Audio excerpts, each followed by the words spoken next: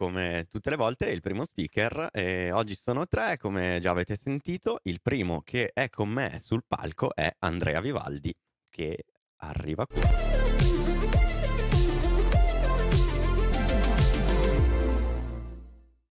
Team Leader e Solution Architect presso Vista Technology. Ciao buongiorno. Da, Buongiorno dove, ci, da dove ci fai le- dove la chiami? tua Chi da dove presentazione, chiami? dove telefoni? Sono, sono da Milano, Ok, quindi, quindi quindi siamo vicini.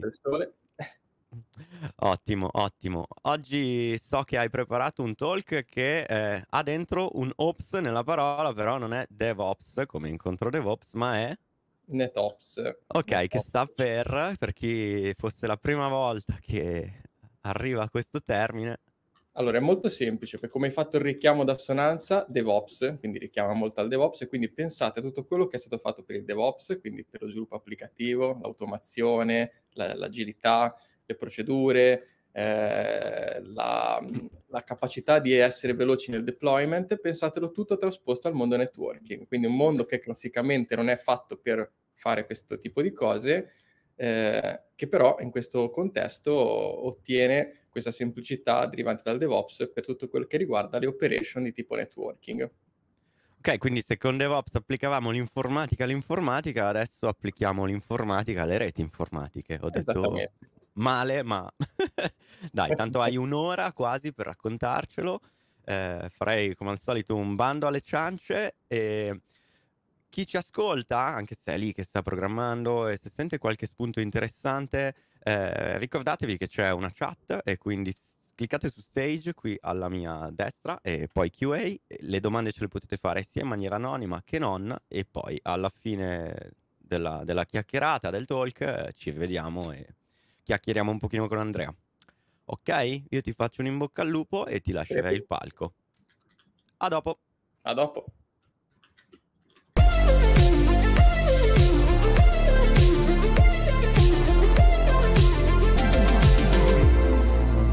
Tutti e benvenuti eh, al talk che si intitola eh, Yank, eh, che sta per Yet Another eh, NetOps Quick Start in maniera molto simpatica. Eh, innanzitutto mi presento per chi ancora non mi conoscesse, io sono Andrea Vivaldi e sono team leader e solution architect per eh, Vista Technology e mi interesso degli ambiti di DevOps e tecnologie abilitanti al mondo cloud native. Eh, diciamo che personalmente da sempre sono appassionata a temi di automazione, osservabilità, monitoraggio, telemetria, eh, infrastrutture di networking, eh, eccetera, e ultimamente mi sto proprio specializzando sulla parte sia Secure DevOps, eh, chi ha visto il mio talk al Container Day lo ha potuto constatare, e Network Automation, che sarà l'oggetto del, del talk di oggi. Eh, giusto due parole su chi è Vista Technology, l'azienda per cui lavoro. Vista Technology è un'azienda del gruppo DGS eh, specializzata nelle, infrastrutture eh, abilitanti al cloud native, cloud native data center e networking, secure DevOps, DevOps in generale e anche data intelligence. In questo grafico vedete un po' quali sono le nostre tre aree diciamo di, di interesse. Quella che ci interessa di più oggi ovviamente è quella che spazia eh, dal, dalle infrastrutture cloud native eh, fino alle infrastrutture di networking e software defined eh, networking.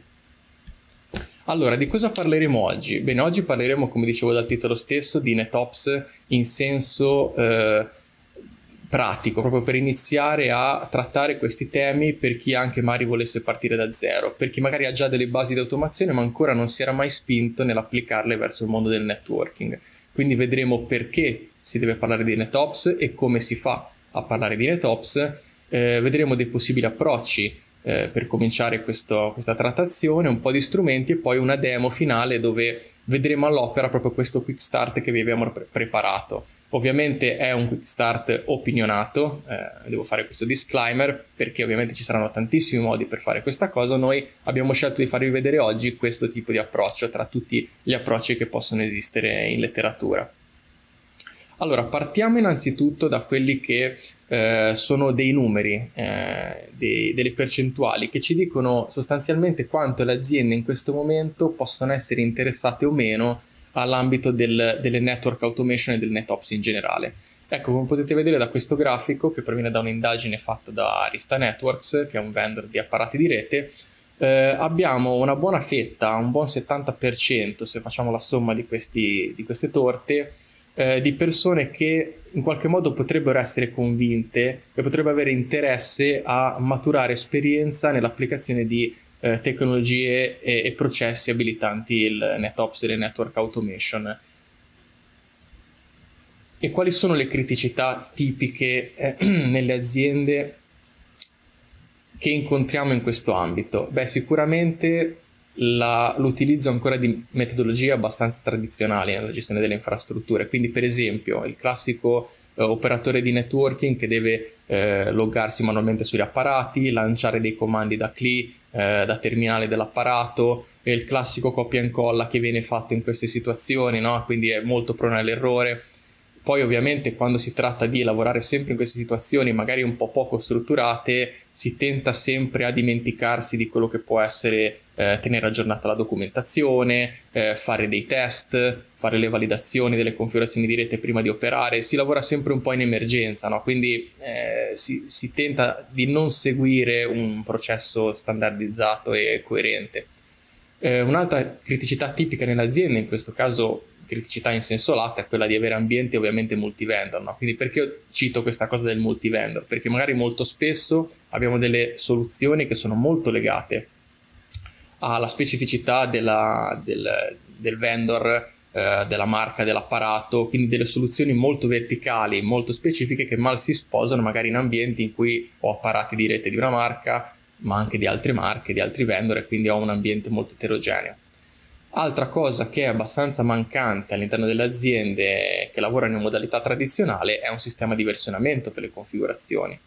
Eh, non dico che in generale manchi totalmente il controllo sulle versioni, ma magari non c'è un modo standard di farlo e, ed è un po' demandato alla pratica, alla cultura personale dell'operatore di rete in, in quel momento.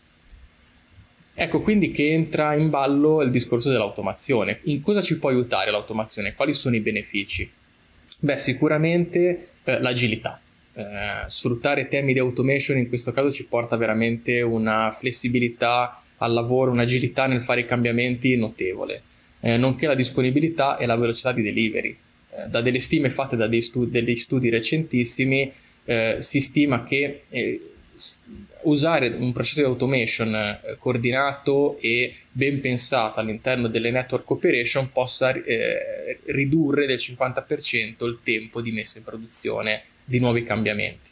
Ovviamente insieme al tema della velocità di delivery c'è anche quello della riduzione dell'errore umano. Inevitabilmente se io mi baso su dei processi molto standard, molto definiti, quali quelli dell'automation, io ho praticamente quasi un annullamento eh, dell'errore umano che eh, è normale che ci sia quando si fanno delle azioni manuali.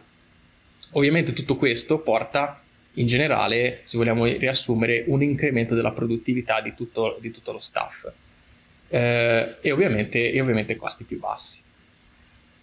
Ecco che qui entra in ballo il discorso di utilizzare, come abbiamo visto spesso anche in altri contesti quali quello delle infrastrutture, principi DevOps in ambiti che non siano strettamente quelli dello sviluppo. Quindi se noi andiamo ad applicare quelli che sono i principi DevOps eh, al mondo del networking, ecco che salta fuori il concetto di NetOps o NetDevOps.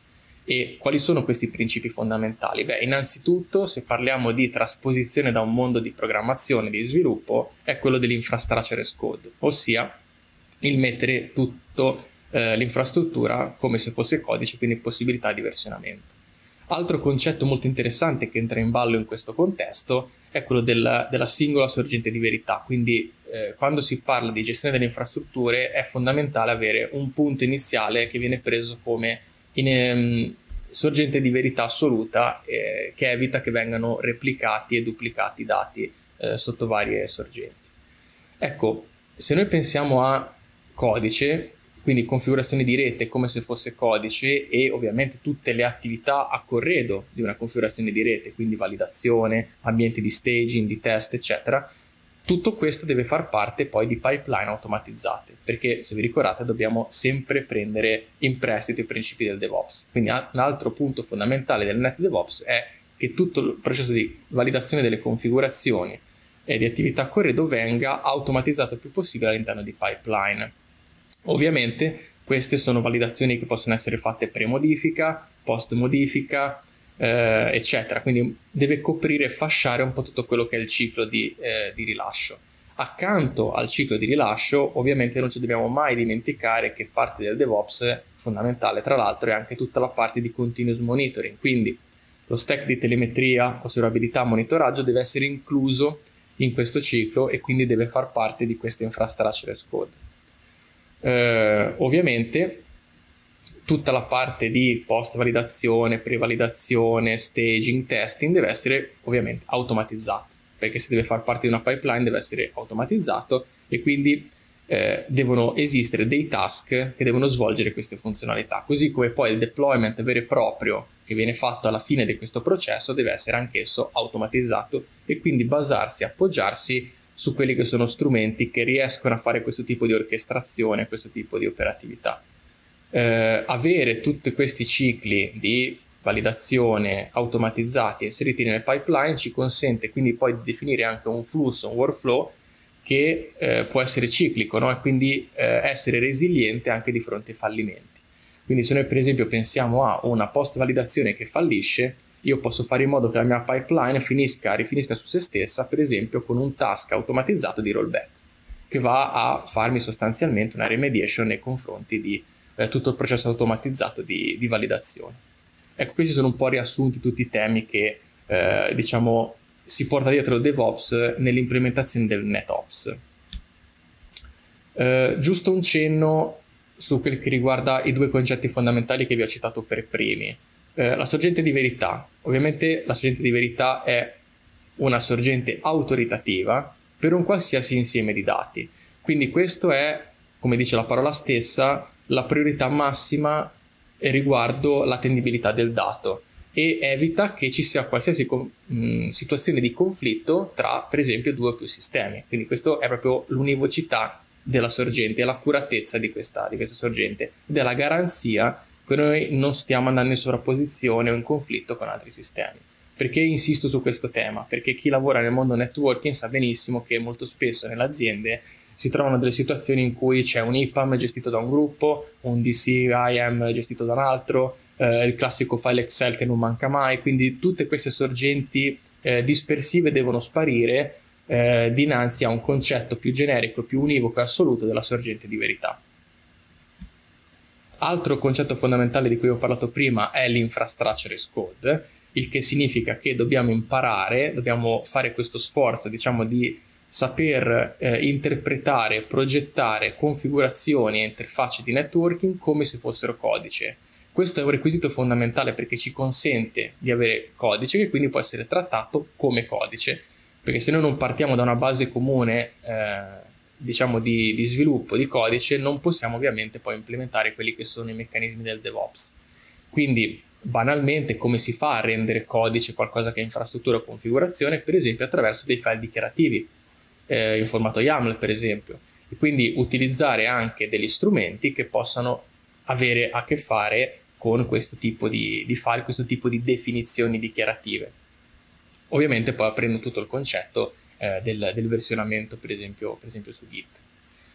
Fatta questa premessa vi ricordo quelli che sono un po' quelli che chiamiamo banalmente i building block della cultura DevOps, che si applicano inevitabilmente anche all'interno del NetOps. Quindi, partendo da destra verso sinistra, abbiamo la sorgente di verità, quindi eh, un database centrale di verità assoluta, eh, dove vengono codificate le infrastrutture, dove possono essere anche versionate queste infrastrutture ed essere soggette ai processi eh, di sviluppo classici delle applicazioni.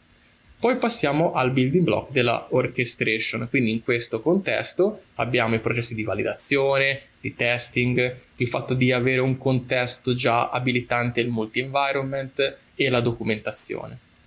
Dopo l'orchestration, il layer dell'orchestration, abbiamo il layer dell'automation e in questo layer abbiamo il deploy vero e proprio, la parte anche di consistenza di quello che viene deployato all'interno delle infrastrutture, la sincronizzazione ed eventualmente l'abilitazione a tool esterni di autoconfigurazione.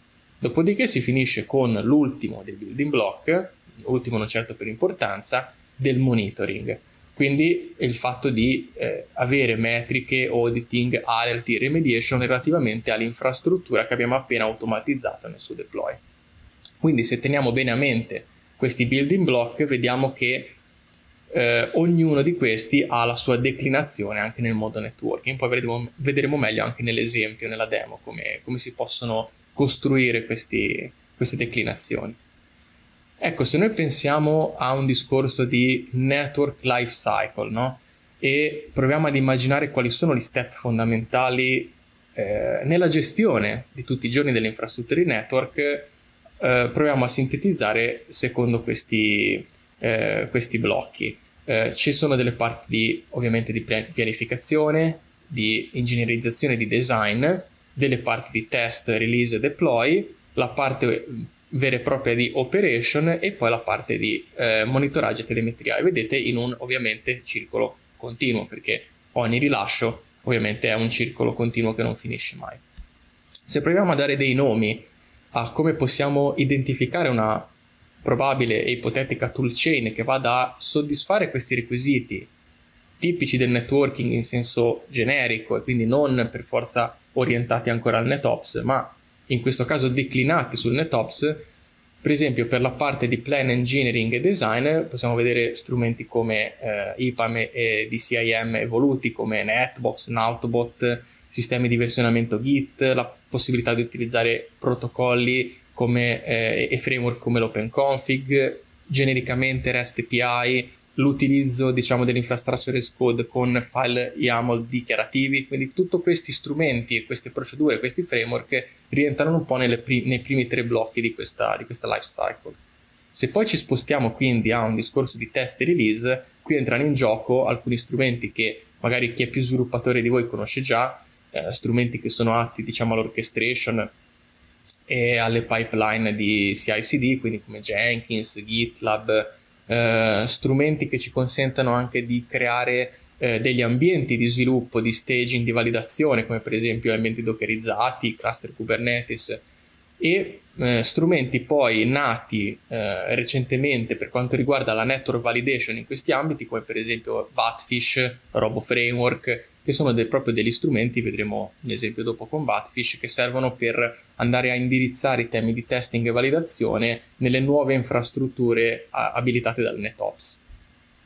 Se continuiamo nel nostro, eh, nel nostro percorso verso questo network lifecycle, arriviamo poi alla parte vera e propria di automazione. Automazione nel deploy e nelle operation di tutti i giorni. Ecco, in questo contesto, per esempio, la fa da padrone Ansible come strumento di automazione, ma abbiamo anche, per esempio, altre alternative come vi cito a caso così SaltStack.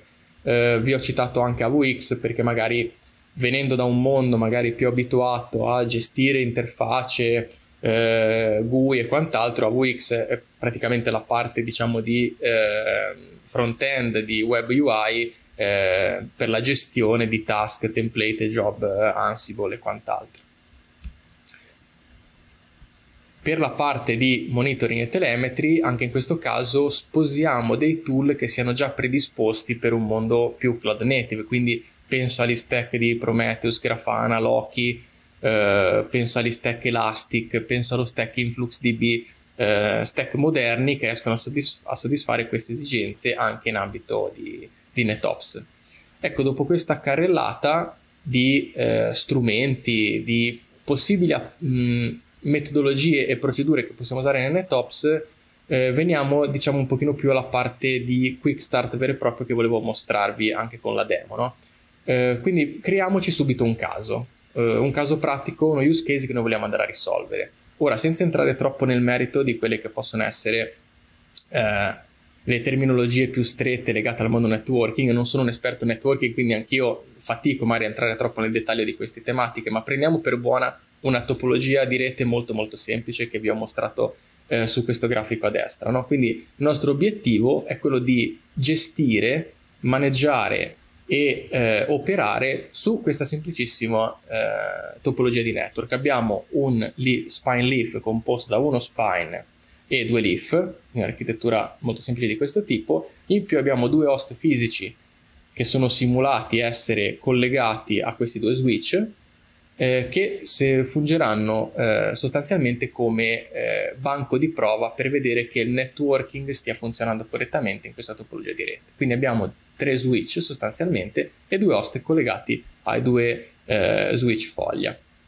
Cosa vogliamo andare a fare col NetOps? Sicuramente andarli a configurare, andare a fare un meccanismo di validazione prima di fare il deploy vero e proprio delle, delle configurazioni per capire se quanto stiamo deployando sia valido e effettuare dei test post validazione per capire che tutto sia stato fatto correttamente, eh, avere la certezza di eh, avere una compliance su quanto è stato eh, fatto a livello di monitoraggio e poi eventualmente simulare anche una sorta di documentazione barra backup eh, per far vedere che possono essere fatti anche dei task post deployment intesi in questo senso. Per lo scopo di questo quick start utilizzeremo per comodità eh, delle eh, versioni containerizzate dei sistemi operativi che sono contenuti negli switch di Arista. Eh, ve lo dico solo per comodità perché essendo già delle immagini containerizzate è stato molto semplice costruire un ambiente di sviluppo e di staging e questo ambiente di sviluppo containerizzato eh, sfrutterà anche eh, un applicativo che si chiama Docker Topo che sostanzialmente è un wrapper eh, per poter gestire delle topologie dockerizzate di immagini di switch. Detto eh, della topologia che andremo a trattare, vediamo quali possono essere gli strumenti che utilizziamo per andare a indirizzare questa tematica. Quindi abbiamo detto che ci deve essere una sorgente di verità e un repository. Come sorgente di verità in questo caso utilizzeremo un IPAM, eh, nella fattispecie in Autobot, dove andremo a censire quelle che sono le informazioni degli apparati che vogliamo andare a eh, trattare e andare a maneggiare. Quindi all'interno del Nautobot saranno presenti banalmente tutte le informazioni che riguardano l'indirizzamento IP, gli apparati, le configurazioni BGP per poter far parlare gli apparati e eh, stabilire il networking de- tra gli apparati stessi e gli host ad esso collegati, eccetera, eccetera. Eh, il tutto, tutte le procedure di automazione verranno scritte con Ansible e verranno poi lanciate e gestite tramite AVX, che vi ho detto essere l'interfaccia grafica sostanzialmente. Passatemi questa semplificazione dell'Ansible e eh, i plugin, i playbook, i repository verranno versionati su Git in maniera tale che le procedure stesse siano sotto versionamento. Quindi, ricapitolando, abbiamo il Nautobot come sorgente di verità, playbook Ansible che si occupano di fare tutti i task di deploy, validazione, compliance, test, documentazione, versionati su Git. Andiamo avanti, Cosa fanno questi playbook Ansible, questi task Ansible? Beh, abbiamo detto che devono fare validazione e per la validazione utilizzeremo Batfish, validazione pre-deploy, quindi prima ancora di fare il deploy utilizzerò dei eh, playbook Ansible di automazione che andranno a interrogare Batfish come framework, il quale andrà esso stesso a fare una simulazione di configurazione e constatare che eh, sia valida rispetto a quello che deve fare come compiti. Andremo poi a fare il deploy vero e proprio degli apparati utilizzando dei moduli Ansible che esistono per, per esempio gli apparati Arista, ma come ne esistono per gli apparati Arista esistono anche per tutti gli altri vendor di networking, quindi partendo da una situazione di eh, host versionati, passatemi questo termine, comunque eh, censiti all'interno di Nautobot, andremo a fare questo deploy in automatico sugli apparati stessi Contestualmente andremo anche a gestire quello che è lo stack di monitoraggio, quindi per esempio in questo caso utilizzeremo un sistema di service discovery che automaticamente andrà a fare la raccolta, la discovery automatica di tutti quelli che sono gli apparati appena deployati, andandoli a censire a livello di monitoraggio all'interno di uno stack composto da Prometheus per quanto riguarda le metriche, Loki per quanto riguarda i log applicativi degli apparati e Grafana per la visualizzazione delle dashboard. Eh, dopodiché, come ultimo task, andremo a simulare una sorta di documentazione. Nella fattispecie andremo a creare un backup delle configurazioni appena fatte e andremo a eh, versionare questo backup all'interno di un altro repository Git, andando così un po' a simulare quella che possa essere una eh, documentazione post, post change, ecco, chiamiamola così. Eh, dunque, perché usare proprio Ansible? Uh, Ansible è un po' lo standard de facto in termini di automazione, orchestrazione, deployment di, co- di configurazioni, provisioning di infrastrutture e quindi anche noi abbiamo sposato questo tipo di soluzione, anche perché ha la capacità veramente di avere tantissimi moduli, eh, soprattutto per l'ambito networking, quindi si integra molto bene con tantissimi vendor, Cisco, Dell, HP, Arista e quant'altro, ed è naturalmente abilitante al concetto di infrastructure as code, quindi anche al, al GitOps e, e al NetOps. Eh, sfrutta poi il concetto di idempotenza sugli stati, no? quindi eh, un po' come tutti questi sistemi di automazione, noi andiamo a dichiarare uno stato, poi quello che viene fatto in termini di applicazione di questo stato è la differenza rispetto allo stato desiderato, tra lo stato attuale e lo stato desiderato. Se per caso lo stato desidera- attuale è già identico a quello desiderato, mh, ovviamente non verrà fatta nessuna azione, quindi proprio implementa perfettamente il concetto matematico dell'idempotenza e eh, sostanzialmente quando ora vi farò vedere la demo che abbiamo fatto lavoreremo sulla parte di inventory per la raccolta di dati e connessione con la sorgente di verità e i playbook e i suoi role che andranno poi fisicamente a descrivere quelli che sono i task di automazione e invece perché abbiamo usato un Autobot? Eh, ci è sembrato al momento diciamo la web application open source eh, più ehm, completa dal punto di vista delle funzionalità IPAM e DCIM in termini proprio anche di flessibilità e di gestione, customizzazione, integrazione con sistemi terzi, nonché integrazione con Ansible stesso. Quindi esistono proprio dei, delle collection, dei, dei moduli Ansible tip, mh, tipicamente di eh, Nautobot che servono per esempio per la sincronizzazione dell'inventory, eh, ma anche altre cose che non utilizzeremo oggi, come ad esempio la eh, creazione di oggetti e quant'altro. No? Quindi è uno strumento che noi abbiamo pensato essere ideale in questo contesto di automazione, integrazione e, e task. Uh, giusto un piccolo cenno storico, uh, Nautobot è un fork di Netbox ben più famoso, uh, gestito dal team di Network to Code, che sono delle persone veramente molto brave, un team molto importante dal punto di vista di concetti di automazione in ambito networking. Perché proprio Batfish invece per la validazione? In questo momento, nel, nella mia diciamo umile opinione, eh, è il miglior tool open source sul mercato al momento per la network configuration analysis. Eh, Batfish riesce abbastanza eh, semplicemente e con una curva d'apprendimento veramente molto bassa a eh, ri- ricrearsi internamente delle, delle mappe, delle topologie basandosi solo sulle configurazioni statiche per poter poi testare in maniera statica eh, il funzionamento effettivo della rete qualora poi andasse in, in, produzione. Questo è un motore davvero molto potente e che ormai utilizzano tantissime altre realtà per poter fare valid- validazione pre-deploy in maniera, in maniera, statica. E quindi è anche un metodo eh, da mettere nella nostra catena di CI/CD per avere un'evoluzione rapida e sicura della rete senza la paura di poter introdurre dei cambiamenti che possono spaccare tutto e quindi poi necessariamente correre dietro a una rollback in maniera, in maniera immediata.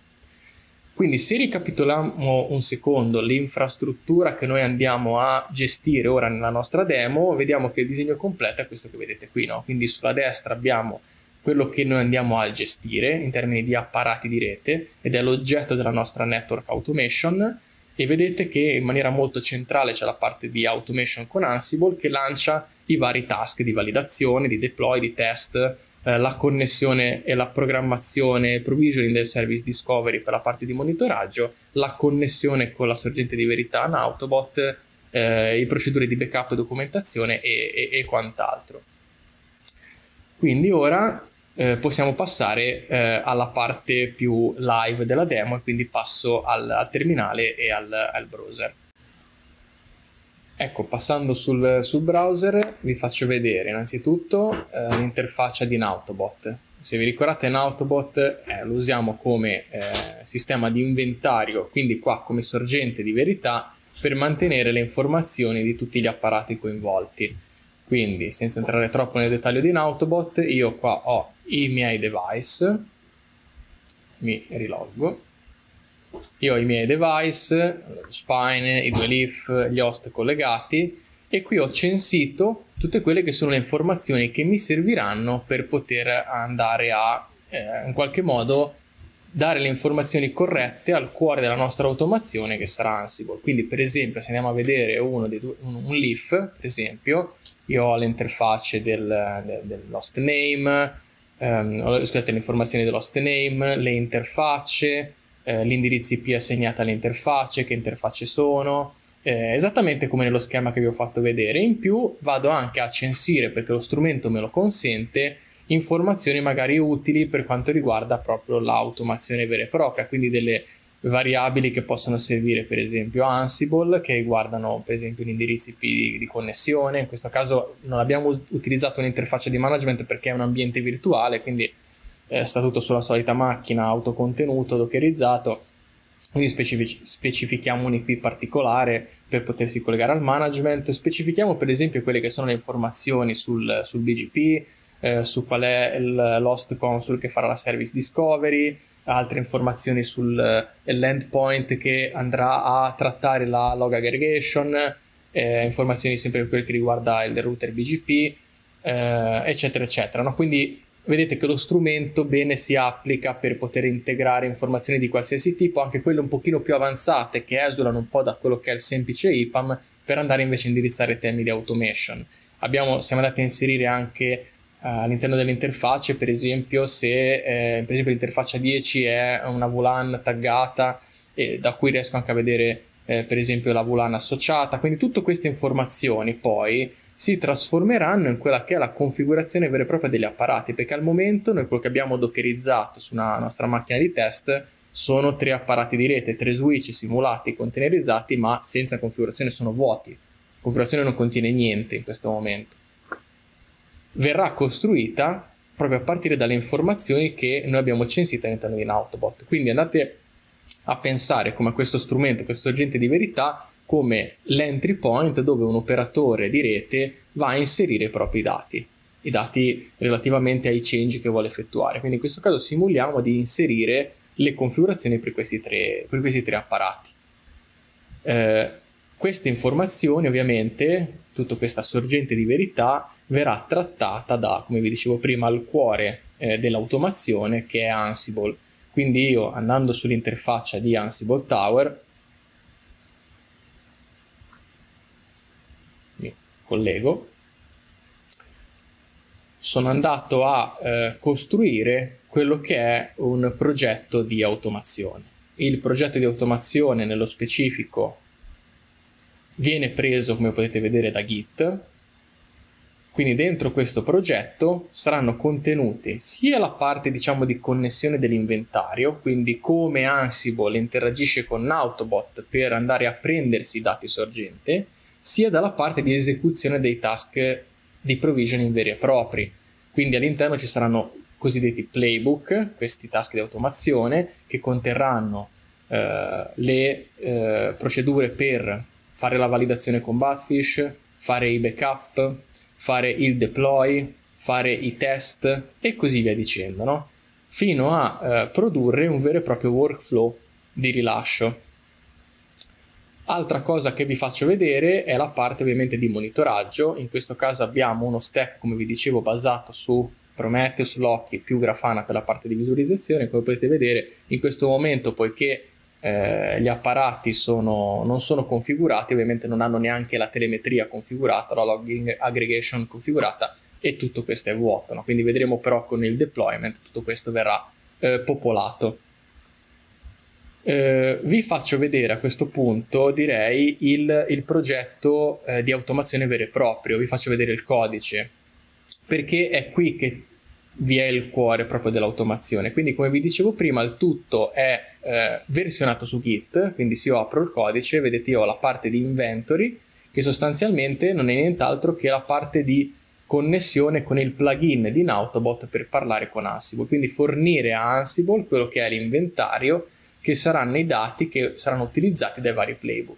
È molto banale, c'è il suo modulo di connessione e eh, la parte, diciamo, di raccolta dei dati. Quindi questo funzionerà come inventario. Dopodiché nella cartella dei playbook io ho i vari playbook che saranno sostanzialmente i task di automazione. Quindi come vi dicevo prima, per esempio la parte di validation, la parte di rollback quando le cose vanno male, la parte di ping, cioè il test degli host per vedere che ci sia connettività tra l'host 1 e l'host 2, la parte di deploy delle configurazioni e messa in bolla della parte monitoring. Vedete, io qua ho utilizzato eh, come convenzione il fatto di tenere i playbook molto spogli e all'interno dei playbook andare a referenziare quelli che sono dei ruoli, che poi sono, diciamo, eh, l'insieme vero e proprio di task che verranno, che verranno effettuati. Quindi, per esempio, partiamo da eh, proprio il playbook dell'intended, ossia dell'andare a applicare l'intended configuration e, e mettere in bolla il monitoraggio. abbiamo due ruoli, quelli del deploy e quello del monitoring. Quindi andando dentro la cartella roles, per esempio deploy, task di deploy, qui vedete banalmente l'automazione vera e propria. In questo caso utilizziamo, come vi dicevo prima, la capacità di Ansible di avere dei plugin di connessione con i vari vendor di rete, in questo caso Arista, e in questo caso sto dicendo a partire da un template Jinja che verrà riempito con le variabili prese dall'inventory, preso da un Autobot, fammi il replace della configurazione. Quindi molto, se volete, molto banale, molto disaccoppiato. Come sono fatti questi template Jinja? banalmente io vado a ripercorrere quella che sarebbe la configurazione statica dell'apparato, dove vedete le graffe con un nome di variabile, ecco qui sono dove ovviamente accade la templatizzazione dinamica, quindi questi valori vengono presi sostanzialmente dall'inventory e calcolati in automatico, quindi tutto quello che riguarda le VLAN, le interface, la parte di descrizione del BGP, eccetera, sono tutte variabili prese dall'inventario. Quindi banalmente, qui vedete, faccio un esempio, router, BGP, autonomous system, questa variabile viene presa da un. Quindi se io vado a vedere per esempio il device spine 1 config context vedete qui ho delle informazioni riguardo BGP e l'autonomous system. Ecco, queste informazioni verranno poi tradotte e eh, implementate e trascritte dentro il template Jinja che produrrà poi una configurazione vera e propria che potrà essere applicata da Ansible all'interno degli apparati. Quindi questo è un esempio diciamo di, uh, di, di configurazione. Un altro esempio interessante per esempio potrebbe essere quello della validazione. Vi ho, fatto, vi ho detto che utilizzeremo Batfish per fare la validazione pre-deploy delle, delle infrastrutture di networking. Quindi arrivati a questo punto, anche in questo caso ho dei template Jinja che mi costruiscono la configurazione in maniera tale che questa configurazione possa essere data in pasto a Batfish e di tutto questo se no ovviamente Ansible che ha il modulo per Batfish per poter fare questo e quindi generare, connettersi a un Batfish server passargli le configurazioni che noi avremo deployato sotto una cartella di conve- convenzionale, eh, per esempio sotto validation, workshop data, beffect, qui dentro verranno caricate le configurazioni così come eh, templatizzate in Jinja, dopodiché ho la parte di scrittura delle test di validazione veri e propri. Quindi all'interno di questa assertion, per esempio, vado a verificare, per esempio, che i BGP peers eh, siano quelli che io mi aspetto che siano in una configurazione con uno span e due leaf. Quindi vedete, io scrivo molto banalmente delle assertion e queste assertion vengono valutate eh, sopra una configurazione statica, quindi senza la necessità fisica di avere il deploy di una infrastruttura di rete. Quindi posso fare questo in sicurezza prima di fare il deploy vero e proprio. E il tutto condito all'interno dei task di automation Ansible. Quindi poi sarà il lancio del playbook stesso di validation a fare tutto questo per noi e fornirci un risultato. Allo stesso modo la parte per esempio anche di, eh, di test. La parte di test, quindi per esempio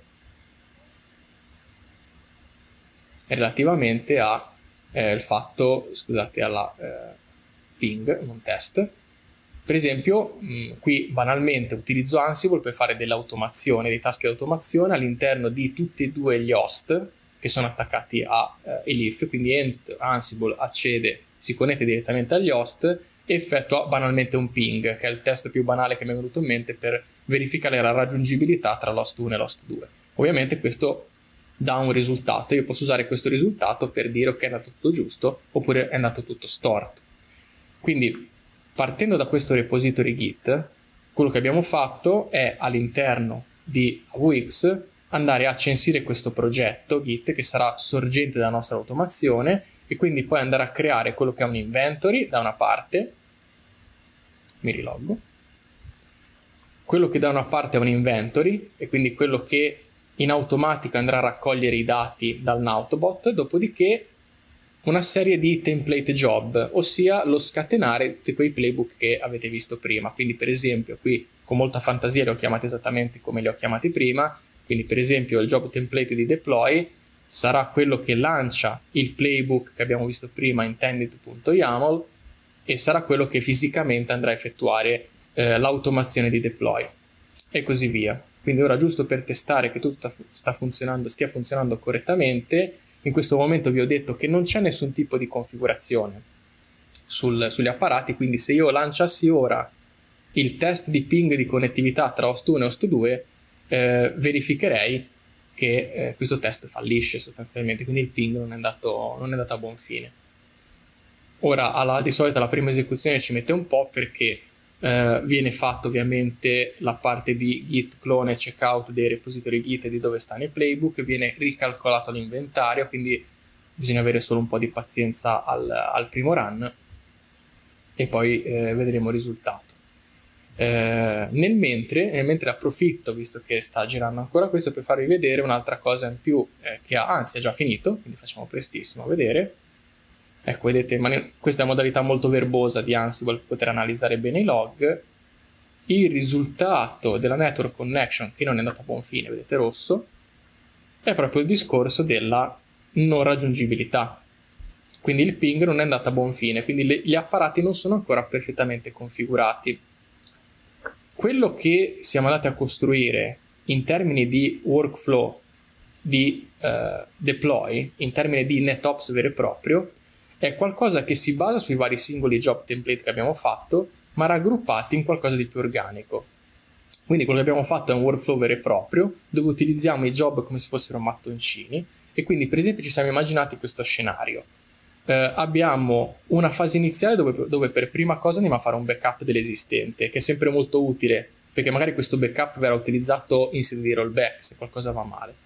Dopodiché lanciamo la cosiddetta validazione pre-deploy, quindi quella che vi ho fatto vedere con Batfish. Quindi arrivati a questo punto di, diciamo a Batfish di controllare queste configurazioni che vorremmo deployare e in caso di esito positivo, quindi freccia verde, in caso di esito negativo ovviamente tutto si ferma, in caso di esito positivo passiamo alla fase di deploy vero e proprio dove andiamo a fare il deploy delle configurazioni in automatico sugli apparati, quindi diventeranno configurati per poter fare networking e la parte diciamo di eh, messa in bolla del monitoraggio. Fatto questo, ci siamo immaginati un banalissimo eh, check post deploy, che è quel test del ping che vi ho fatto vedere prima che non funzionava. Quindi se funziona, andiamo ad aggiornare la nostra documentazione con le nuove configurazioni. Se non funziona, lanciamo un ultimo job di rollback, che è quello che sfruttando il backup fatto precedentemente riporta la configurazione a uno stato precedente funzionante. Quindi noi potremmo ora tranquillamente lanciare questo, questo workflow e vedere cosa succede. Io mi aspetto che lanciando questo workflow eh, venga fatta una validazione, che la validazione abbia successo perché le informazioni che abbiamo inserito su un Autobot sono corrette, che venga fatto fisicamente il deploy sugli apparati di rete, che quindi io veda anche la parte di monitoraggio, dopodiché quindi il test finale è quello che mi aspetto di avere un ping funzionante, quindi aver configurato correttamente gli apparati di rete in tal senso. Ovviamente per fare tutte queste cose ci vuole un po', vedete qua in maniera visuale vedo lo stato di avanzamento, quindi la prima parte diciamo di backup iniziale è stata fatta. Possiamo sempre in qualsiasi momento vedere l'output del job Ansible che ha girato, quindi vedete è stato clonato un repository Git atto a contenere le configurazioni di backup, sono state collezionate le configurazioni degli apparati in questo momento ed è stato poi fatto il push sul repo.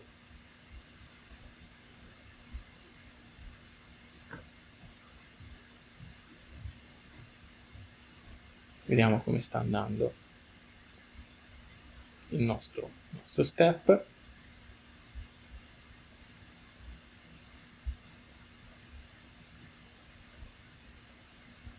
È stata fatta la validazione e vedete che è andata a buon fine. Andiamo a vedere il risultato della validazione. Anche in questo caso sono state generate le tre configurazioni future. È stata fatta la connessione al Batfish Service, sono stati inizializzati è stata inizializzata la network del Batfish e poi sono state fatte le verifiche secondo le assertion che avevamo messo, quindi sono stati controllati effettivamente che il leaf, per esempio leaf 2 avesse delle particolari sessioni di peer in BGP e l'assertion è stata rispettata, quindi in sostanza l'esito del test di pre-deploy è andato a buon fine. Quindi mi aspetto che vada a buon fine il deploy e così è stato e che vada a buon fine anche il test e così è stato. Quindi vedete che tutta la filiera è andata a buon fine. Andiamo a vedere i risultati per esempio del deploy. Sono state generate le configurazioni, sono state applicate le configurazioni, change, change, change, vuol dire che è stato applicato qualcosa di nuovo e sono stati anche registrati i servizi per il monitoraggio e il logging. Quindi io mi aspetto, arrivato a questo punto, di avere qualcosa anche a livello di monitoraggio. Proviamo a refreshare la pagina. Assolutamente sì. Vedete che in automatico abbiamo messo in bolla anche il sistema di monitoraggio. Ora vedete vengono automaticamente collezionati i dati dell'IF 1, l'IF 2, Spine 1. Eh, ho fatto semplici grafici indicativi su un po' di utilizzo della CPU, i traffici delle interfacce ovviamente in questo momento sono a zero e vedete che si stanno anche collezionando correttamente i file di log provenienti dagli apparati. Arrivato a questo punto, quindi, scusate, mi aspetto anche che sia andato a buon fine il test di, valida- di, eh, di ping e così è stato. Infatti se andiamo a vedere l'output, in questo caso ora se vi ricordate prima il ping non ha funzionato, 100% packet loss, in questo caso andiamo a vedere il risultato del ping in questo caso è andato a buon fine è andato a buon fine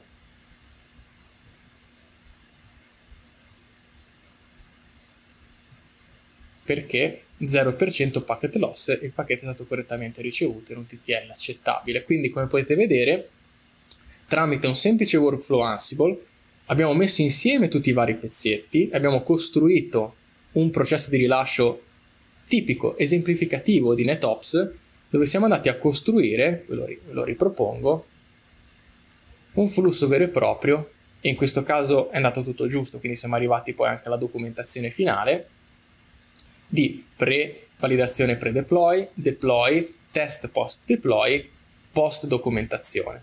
Eh, ovviamente questo è un test molto molto semplice e eh, esemplificativo, queste cose ovviamente voi potete usarle come semplice dimostrazione di quello che si può fare, può essere molto più complicata la situazione. E tornando brevemente alle, alle nostre slide, la cosa che mi premeva farvi vedere era sostanzialmente che i nostri quick start in realtà hanno due filosofie diverse.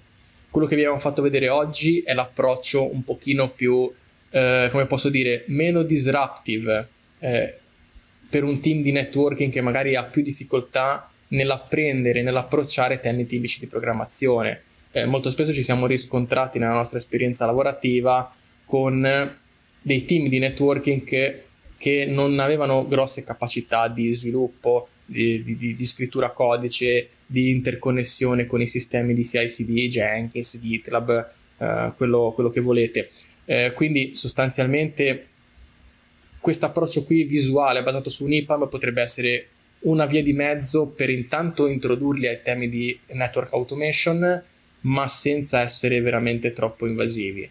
Un approccio magari un pochino più, come posso dirvi, eh, standard, un pochino anche più evoluto, potrebbe essere l'approccio quello puramente GitOps oriented, quindi non più basandosi su un sistema visuale come può essere l'IPAM, che magari può centrare sempre nel discorso perché eh, può essere utilizzato come poi eh, documentazione finale per andare a salvarsi e persistere le informazioni, però partire da qualcosa che è veramente everything as code e eh, dove gli apparati di rete vengono fisicamente descritti tramite file YAML che anche essi stessi vengono versionati su Git. Se volete avere più informazioni rispetto a questo approccio più programmatico, eh, abbiamo sul nostro repo GitHub anche questo altro NetOps Quick Start che si basa più su questi concetti di pipeline di rilascio in termini di DevOps, basati su ma potete pensarla anche basate su Jenkins, non c'è, eh, non c'è nessun problema.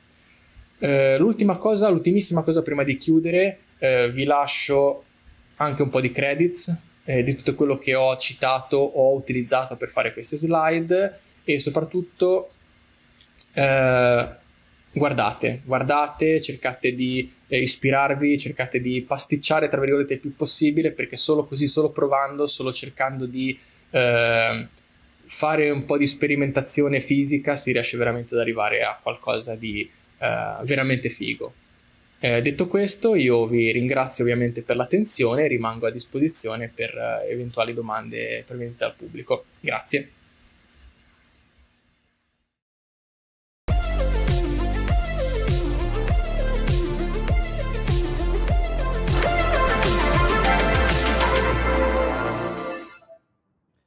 Andrea, io ho sempre un certo, un certo fascino per i talk che racchiudono eh, tutto un compendio molto complicato che magari si sta evolvendo, no? Hai presente quella questione della curva dell'adozione delle tecnologie, no? La curva yeah. dell'hype, se qualcuno la volesse googolare, no? E, e noi siamo probabilmente con uh, queste discipline, DevOps, NetOps e tutte le sfumature che ci stanno dietro in una fase molto, molto iniziale, diciamo, non siamo ancora nel mainstream, magari su qualcosina sì, e quindi è molto difficile racchiudere eh, uno, uno, state off, no? Cioè fare un piccolo riassunto di quello che è la conoscenza, perché bisogna, eh, bisogna selezionare quali sono gli, ar- gli, argomenti che stanno emergendo e sembrano più importanti. Quindi mi è piaciuto un sacco eh, il tuo talk. E, e, quindi, e, e, quindi, siccome è durato un bel po', io ho preso un sacco di appunti, ti, ti guardavo qui su, sull'altro, sull'altro MacBook.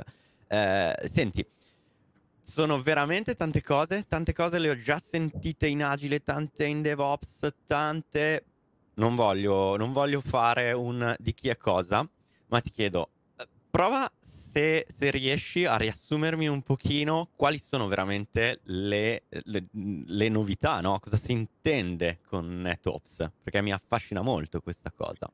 Secondo me la novità, che poi può essere anche un po' uno scoglio di adozione, no? Per chi viene dal mondo networking, perché pensi al mondo networking e pensi a persone che sono abituate a lavorare fisicamente sugli apparati, no? Quindi la vera novità, secondo me, è portare qualcosa che derivi veramente dal mondo dello sviluppo e che sia qualcosa di, di astrazione. Quindi se, secondo me la novità più importante in ambito NetOps può essere lo strumento di automation e quindi doversi mettere nell'ottica di scrivere qualcosa che faccia l'automazione, questa è una vera novità, e poi secondo me anche la parte di validazione.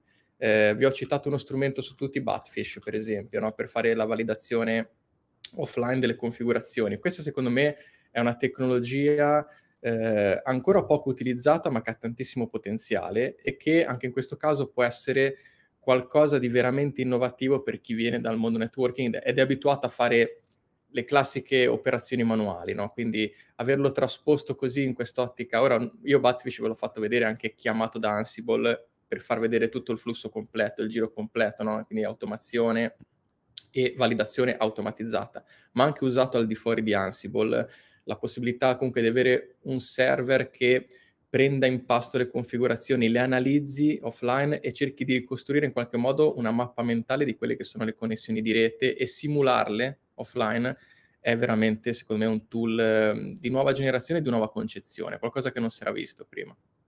Quindi prima lo dicevo scherzando, con DevOps abbiamo applicato l'informatica all'informatica, no? ai sistemi, qui applichiamo l'informatica alle reti informatiche. No, ci ho preso in un certo senso. Sì, sì, sì, sì, sì. hai preso benissimo. Sì, sì, sì, ok, anche se mi viene in mente che eh, tu hai fatto degli esempi molto interessanti, nel senso che sei andato super eh, basso, super low stack, hai addirittura fatto degli esempi con un BGP. Non so quanti all'ascolto oggigiorno abbiano, eh, sto parlando dal punto di vista statistico, la necessità di, di gestire un, un, annuncio su un BGP o addirittura delle subnet in completa autonomia.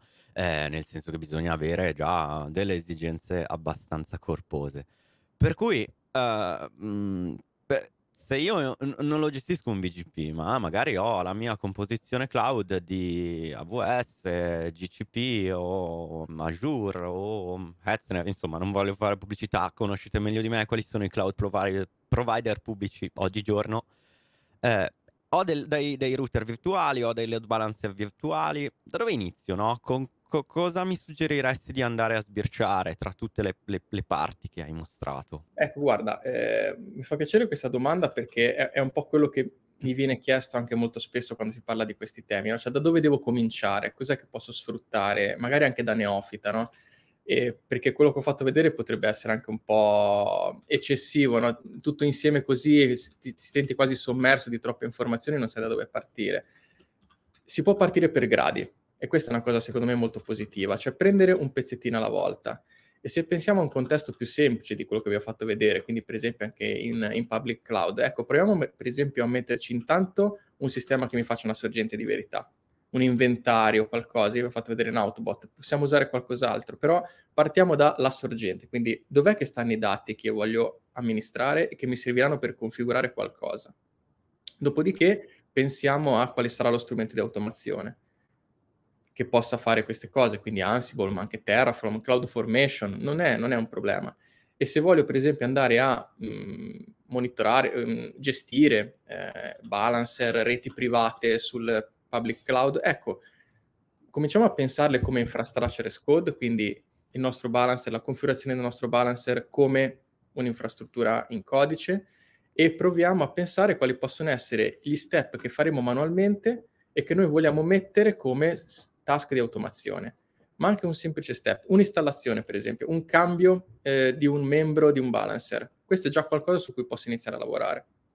Super chiaro. Senti, di solito si dice prendi la cosa che ti fa soffrire di più nel tuo ciclo di continuous delivery o nel tuo ciclo, insomma, di sviluppo, operate, eh, chiamatelo come volete, e automatizza quella.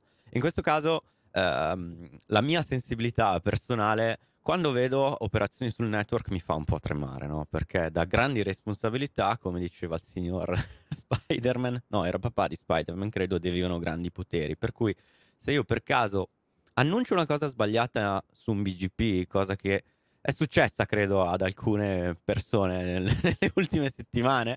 Eh, no, però eh, tu citavi un 2%, no? un 2% delle operaz- de- delle, degli incidenti avviene per eh, errori umani. Eh, quindi che succede se io scelgo un problema che per me è troppo complicato e sbaglio? Come, come posso fare a proteggermi, a scegliere il punto giusto da, non, da, da, da, cui iniziare senza mettermi troppo a repentaglio?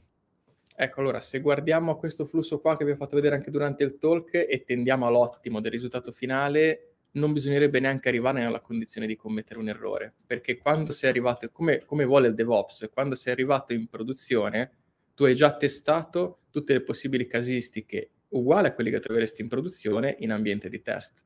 E Quindi così facciamo shift left anche su questo. Esattamente, shift left anche, anche nel network. Veri, esatto. eh, dicevo, a volte non so cosa viene da cosa, però vedi lo shift left ci sta eh sì, alla esempio, grande anche qui.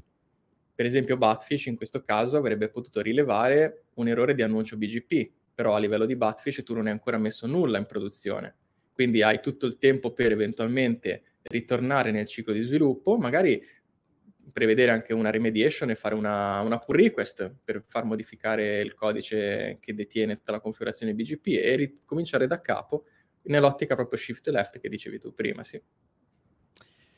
Abbiamo ancora pochissimo tempo, uh, non vedo domande, ma uh, ricordo a tutti che se ve ne venissero in mente prossime, nei prossimi minuti, nelle prossime ore, eh, scriveteci e, e noi le facciamo avere ad Andrea e Andrea vi risponde. L'ultima, l'ultima chiusa, l'ultima curiosità te la, te la faccio io. Allora, eh, chiacchieravamo prima e leggevo anche i tuoi abstract. E, e, e qui leggo scritto fino ad arrivare al monitoring. Eh, mm, ah, e ovviamente open source, no? Io, io, quando sento la parola open source, ovviamente chi già eh, mi ha ascoltato in altri settori eh, sa che mi batte il cuore, no? Perché open source, come mai open source? E poi ti saluto perché il tempo sta per finire. Open source assolutamente perché per questi tipi di innovazione, per rimanere sulla cresta dell'onda, c'è bisogno di una comunità, c'è bisogno di progetti che vedano una, una vision a, a, largo spettro, c'è bisogno di eh, appunto una community che spinga tantissimo sull'innovazione, sul supporto e sul rimanere sempre assolutamente al top nei, negli strumenti da utilizzare. Quindi è la scelta quasi obbligata per, per cominciare a fare questo tipo di innovation. non posso che essere più che d'accordo. Andrea, purtroppo noi dobbiamo salutarci e ti faccio ancora i miei complimenti e ripeto che se qualcuno volesse fare delle domande raggiungere Andrea può farlo attraverso Grusp oppure scrivendogli direttamente. E potete andare a rivedere il talk di Andrea che hai fatto a Container Day, se non sbaglio, c'era Fullo che ti intervistava, sì, quindi cioè, esatto. cioè, ci sono altri contenuti di, di, Andrea. Io spero di nuovo di averti in una prossima conferenza e purtroppo ti devo salutare, ma grazie ancora da parte Ciao di tutto il lo buona staff. Buona continuazione.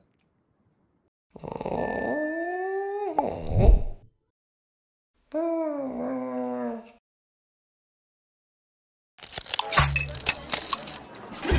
Mm-hmm.